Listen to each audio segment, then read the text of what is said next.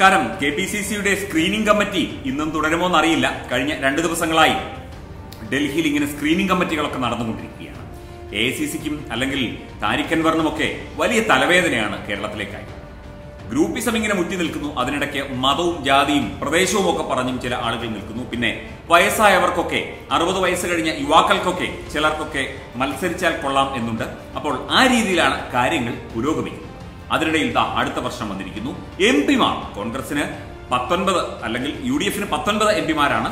അതിൽ ലീഗിന്റെ M P ഇപ്പോൾ രാജിവെച്ച് വന്നിട്ടുണ്ട്. എന്നാൽ പോലും ഈ എം പിമാരെല്ലാവരും കൂടി ഇപ്പോൾ ഹൈക്കമാൻഡുമായി ചില കാര്യങ്ങളിലൊക്കെ തന്നെ പരാതി ഉന്നയിച്ചുകൊണ്ടിരിക്കുകയാണ് എന്നാണ് മനസ്സിലാകുന്നത്. വിശദാംശങ്ങൾ നോക്കാം.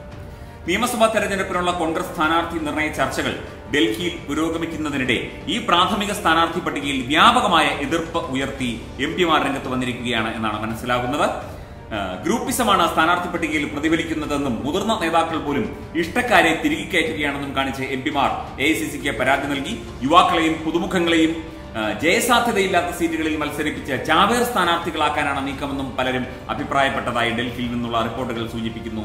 സംസ്ഥാന നേതാക്കൾ വിളിച്ച യോഗം ചില എം പിമാർ ബഹിഷ്കരിക്കും. ചിലർ ഫോൺ എടുക്കുന്നില്ല ചിലർ എത്തുന്നില്ല. കെ സുധാകരൻ എത്തുമോ എന്നറിയില്ല കേട്ടോ. സംസ്ഥാന നേതാക്കൾ തയ്യാറാക്കിയ സ്ഥാനാർത്ഥി പട്ടികയിൽ ഹൈക്കമാൻഡ് ഇടപെടാനുള്ള സാധ്യത കൂടി ചൂണ്ടിക്കാട്ടപ്പെടുന്നു. സ്ക്രീനിംഗ് കമ്മിറ്റി മാനദണ്ഡങ്ങൾ നിശ്ചയിക്കും. കോൺഗ്രസിന് അതിനിർണായകമായ തെരഞ്ഞെടുപ്പിൽ രാഹുൽ ഗാന്ധി നൽകിയ നിർദ്ദേശങ്ങൾ. ഇതാണ് ഇതിന്റെ ഏറ്റവും വലിയ കാര്യം. രാഹുൽ ഗാന്ധി നൽകിയ നിർദ്ദേശങ്ങളിൽ വിട്ടുവീഴ്ച അനുവദിക്കില്ലെന്നാണ് ഒടുവിൽ ലഭിക്കുന്ന വിവരം. അപ്പോൾ തോൽക്കും എന്ന് ഉറപ്പായി കഴിഞ്ഞു.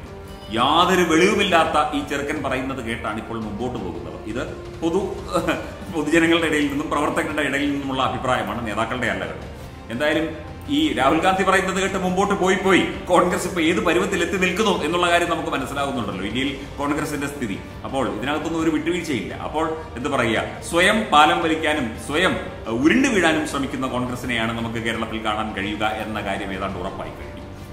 മുതിർന്ന നേതാക്കളെ കൂടി പരിഗണിച്ചുള്ള ലിസ്റ്റ് കൊടുക്കണം എന്നൊക്കെയാണ് രാഹുൽ ഗാന്ധി പറഞ്ഞത്. എന്നാൽ നിലവിലെ ലിസ്റ്റ് ഇതിൽ നിന്ന് വ്യത്യസ്തമായി ഗ്രൂപ്പ് വീതം വെപ്പാണെന്നാണ് എം പിമാർ ആരോപിക്കുന്നത്. ഇവിടെ കേരളത്തിൽ ഇങ്ങനെ ഒരു ഗ്രൂപ്പ് ഉണ്ടെന്ന് പോലും ചിലപ്പോൾ രാഹുൽ ഗാന്ധിക്ക് അറിയില്ല. Rahul Gandhi I N C Congress എന്നൊക്കെ പറഞ്ഞുകൊണ്ട് നടക്കുകയാണ്.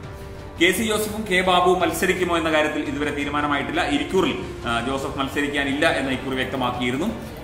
പകരം സീറ്റ് ആവശ്യപ്പെട്ടു. അപ്പോൾ ഉമ്മൻചാണ്ടിയുടെ പിന്തുണയുണ്ട്. കെ സി ജോസഫിന് എങ്കിലും മറ്റ് ചില നേതാക്കൾ എതിർപ്പ് ഉയർത്തിയിട്ടുണ്ട്.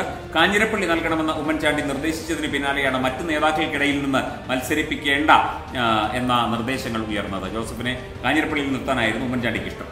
നേരത്തെ കെ സി ജോസഫിന് സീറ്റ് നൽകരുതെന്ന് യൂത്ത് കോൺഗ്രസ് നിലപാടെടുത്തിരുന്നു. യുവാക്കൾക്ക് അവസരം നൽകണമെന്ന് ആവശ്യപ്പെട്ട യൂത്ത് കോൺഗ്രസ് ഹൈക്കമാൻഡിന് കത്തും നൽകിയിരുന്നു. ഇതേ തുടർന്ന് കൂടിയാണ് ജോസഫ് മാറി നിൽക്കണം എന്നൊരാവശ്യം ഇപ്പോൾ ഉയർന്നത്. അതുപോലെ എം എം ഹസന് ഇക്കുറി സീറ്റ് ഉണ്ടാകില്ല എന്നറിയുന്നു. അതുപോലെ യു ഡി എഫ് കൺവീനർ പദവിയുണ്ട്. നേരത്തെ മത്സരിച്ച് തോൽക്കുകയും ചെയ്തു. എന്തൊക്കെയായാലും ശരി ഗ്രൂപ്പ് അടിസ്ഥാനത്തിൽ വീതം വെപ്പ് അത്ര സുഗമമായി കോൺഗ്രസിനെ നടത്തിക്കൊണ്ടു പോകാനാകില്ല. രാഹുൽ ഗാന്ധിയുടെ നിർദ്ദേശങ്ങൾ അനുസരിച്ചാണ് നീങ്ങുന്നതെങ്കിൽ യാതൊരു തരത്തിലും സമവായമോ വിജയമോ ഉണ്ടാകാൻ യാതൊരു സാധ്യതയും കോൺഗ്രസിനെ സംബന്ധിച്ച് കാണുന്നില്ല എന്നുള്ളതാണ് ഏതാണ്ട് ഇപ്പോൾ തീരുമാനമായിരിക്കുന്നത്. കഴിഞ്ഞ ദിവസം കെ സുധാകരൻ അടക്കമുള്ളവർ ഈ വിഷയവുമായി ബന്ധപ്പെട്ട് ചർച്ചകൾ നടത്തിയിരുന്നു. ഇപ്പോൾ കെ സുധാകരൻ ഉൾപ്പെടെയുള്ള എം പിമാരാണ് ഇപ്പോൾ ഈ ഒരു പ്രാഥമിക സ്ഥാനാർത്ഥി പട്ടികയ്ക്ക് നേരെ തിരിഞ്ഞിരിക്കുന്നത് എന്നാണ് മനസ്സിലാകുന്നത്. എന്തായാലും ഇത് കൂടുതൽ പ്രശ്നങ്ങളിലേക്ക് കോൺഗ്രസിന്റെ സ്ഥാനാർത്ഥി നിർണയ തീരുമാനങ്ങളും ചർച്ചകളും ഒക്കെ കൂടുതൽ പ്രശ്നങ്ങളിലേക്ക് എത്തിക്കൊണ്ടിരിക്കുകയാണ് എന്നാണ് ഇപ്പോൾ മനസ്സിലാകുന്നത്. വെബ് ഡെസ്ക് തത്തുമൈ